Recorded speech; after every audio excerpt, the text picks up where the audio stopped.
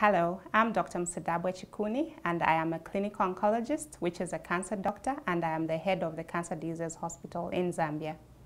HPV, which is the human papilloma virus, is a sexually transmitted virus that infects our genital tract. It causes, of which the most common is cervical cancer, but also causes other types of cancer, for instance, anal cancer, penile cancer, esophageal cancer, as well as cancers of the nose and throat.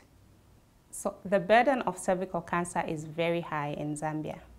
At one point, it, Zambia was the highest ranking in Africa for cervical cancer. Fortunately, this is a disease that can be prevented by HPV vaccination. So the vaccine, the HPV vaccine, is going to be given to young girls in Zambia between the ages of 9 and 10 for those who are out of school and for those who are in school to grade 4 girls. The reason we are vaccinating young girls is to try and catch them before they become sexually active and acquire the human papilloma virus. So vaccination needs to be done before the disease has actually been contracted. We know the vaccine is safe because it's been tested in rigorous studies. Also, it's been used in the Western countries as a standard for many years now. Currently, Zambia is conducting the third round of HPV vaccination.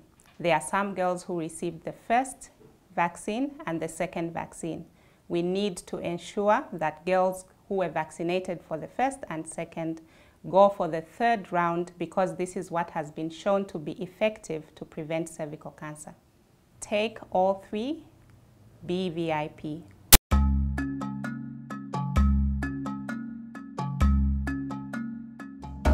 Take all three, be